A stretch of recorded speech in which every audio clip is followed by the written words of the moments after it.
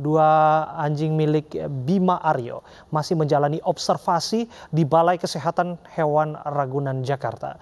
Bagaimana perkembangan observasi tersebut? Berikut wawancara kami bersama Kepala Seksi Peternakan dan Kesehatan Hewan Suku Dinas KPKP Jakarta Timur Irma Budiani. Hingga saat ini uh, apa saja yang telah ditemukan dari hasil observasi?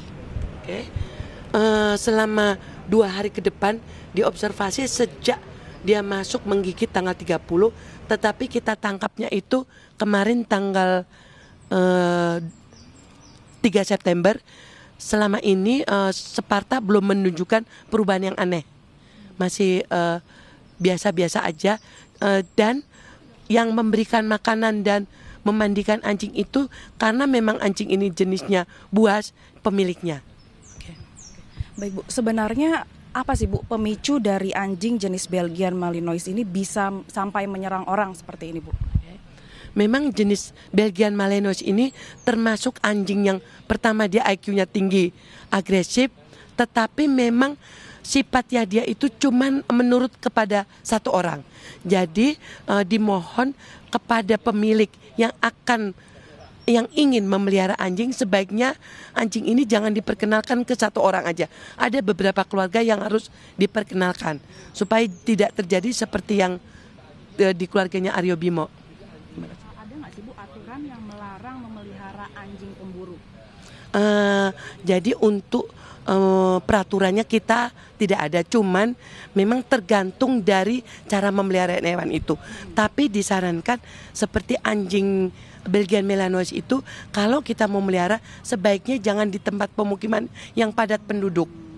Kalau memang mau melihara sebaiknya di tempat yang seperti di puncak atau di mana untuk penjaga.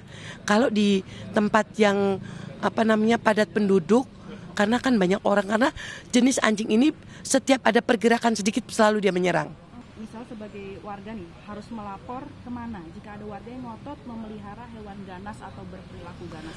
Uh, jadi biasanya kalau misalkan ada warga yang memelihara anjing seperti Belgia Melanos itu biasanya tetangganya yang akan melapor, tetangganya akan mengadu Ke mana itu? Uh, ke sudin kita, oh. sudin kita.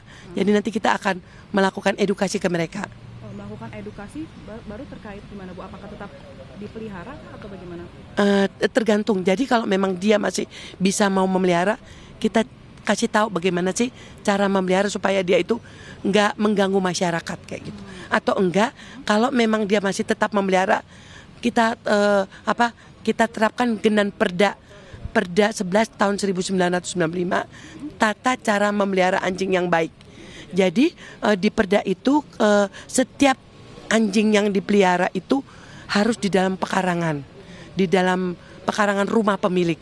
Yang kedua, seandainya anjing itu akan dilepas di apa di luar pekarangan harus memakai rantai seba, sepanjang dua setengah meter. Kalaupun dia galak harus pakai berangus. Hmm. Oke. Okay. Bu, uh, apakah ibu tahu bu terkait pemasangan microchip untuk anjing bu? Uh, jadi um, jadi pemasangan microchip itu untuk identifikasi anjing. Seandainya anjing itu uh, mempunyai microchip bi gampang dilacak. Anjing ini dengan nomor ini yang menggigit. Uh, microchip itu readernya bisa kita apa namanya kita pakai di mana aja. Misalkan anjing yang Jakarta Timur yang hilang dia lari ke Jakarta Selatan kita bisa mendeteksi. Itu seperti identitas identitas dari masing-masing anjing